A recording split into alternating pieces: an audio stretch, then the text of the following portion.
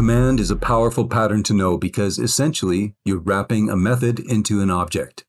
This is perfect for strategy or turn-based games, or in the example today, allowing our player to organize combos for their character.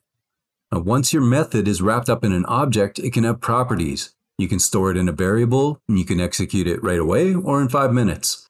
You can pass it around to other objects, or you can serialize it and even send it over the network. Shout out to Anas, whose comment inspired today's example. Let's get into it.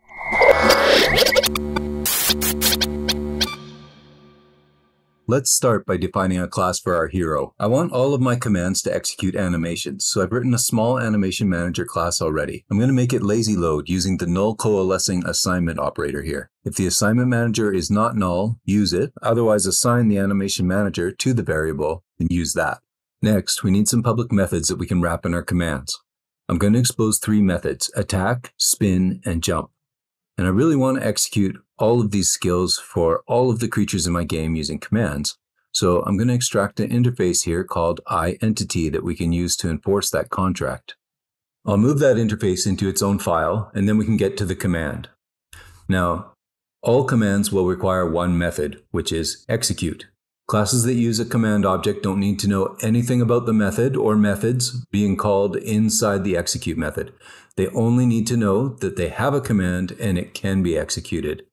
Now I'm going to make it return a task as well. This isn't a requirement of the command pattern, but I know that I want each command to run for a minimum amount of time because they all have animations.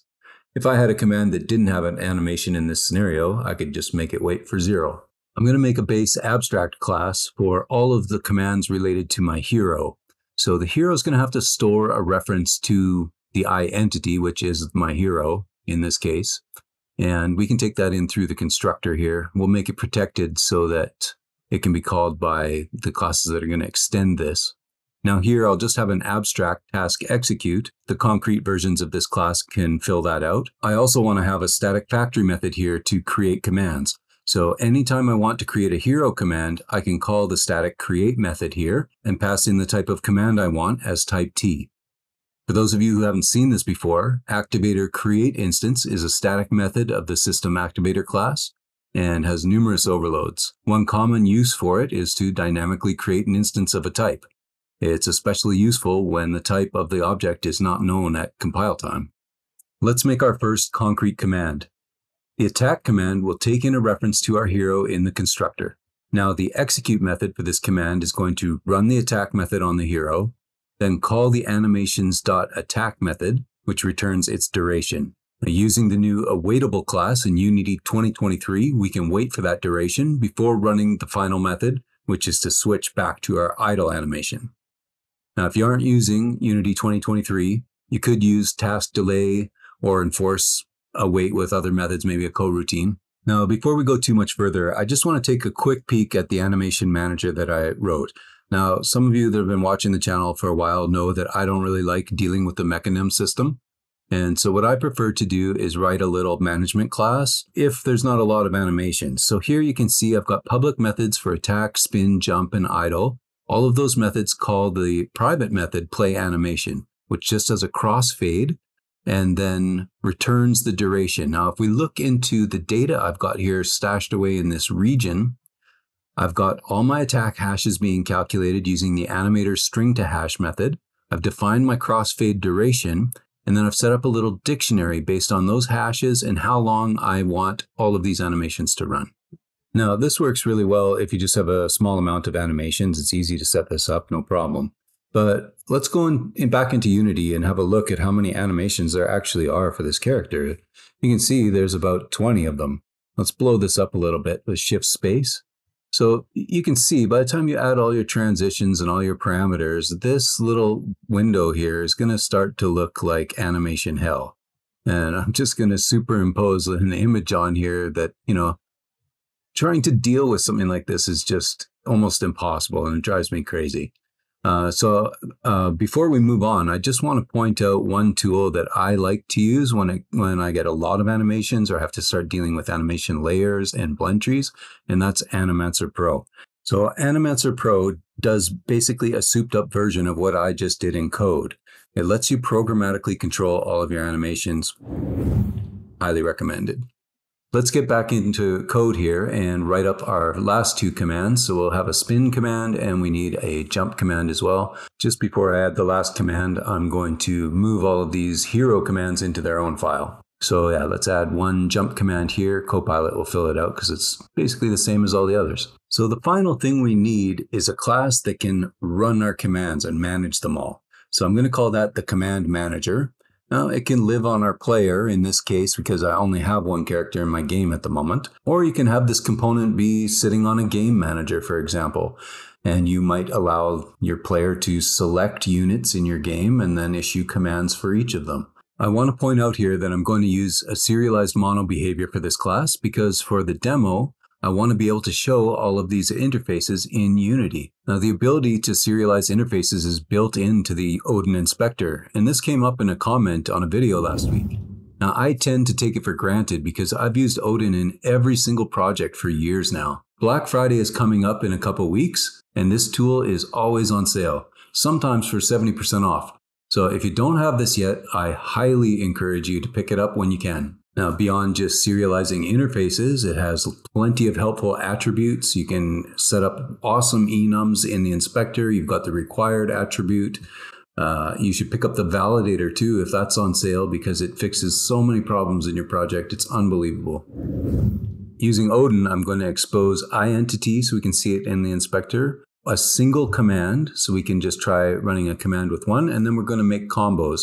So for that, I'm going to use a list of I command. Next, I'm going to separate out the execution of tasks, in particular because I want them to be awaitable. So I'm going to put that into a command invoker class. That will just take in a list of I command, iterate over them, and execute them all, waiting for each one to complete each time. So with that out of the way, let's come back to the command manager and get a reference to that. We can just create a new one here. Now, at the start, I know that I'm going to put the command manager on my hero, so we can just get the iEntity component from this game object. Next, let's define our single command and our list of commands just by calling our hero command create generic method. And now, just as I'm writing this, I'm realizing that I can go back up to the definition of my list of commands. I don't need to declare this as new because the start method is always going to create some initial commands for me here. Finally, let's have a private method here, execute command, that accepts the list of commands and awaits the command invoker to run them. All right, last piece of the puzzle, we need some way to test this thing. So in the update method, let's check to see if the user has pressed the one key. So when the user presses one, let's execute command and we'll just create a new list here and send in the single command. And then if the user presses the two key, we'll execute our list of commands as a combo. Okay, nothing left to do but go test it out. So if I select my hero in the hierarchy here, you can see I've already got the animation manager and the hero components on here. I just need to add the new component, our command manager. So let's get that on there. Now the first thing you're going to notice is that all of the interfaces are exposed here.